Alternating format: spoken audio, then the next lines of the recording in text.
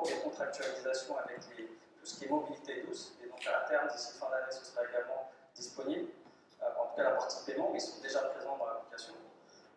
un mot sur business model, c'est qu'on fait des contrats avec les opérateurs, on négocie une commission qui est autour de 8% qu'on prélève sur la transaction. Donc pour l'utilisateur, c'est gratuit, donc c'est à la charge de, l'opérateur.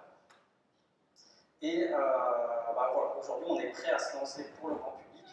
On a déjà quelques métriques euh, depuis le fin juin, mais l'idée c'était surtout de.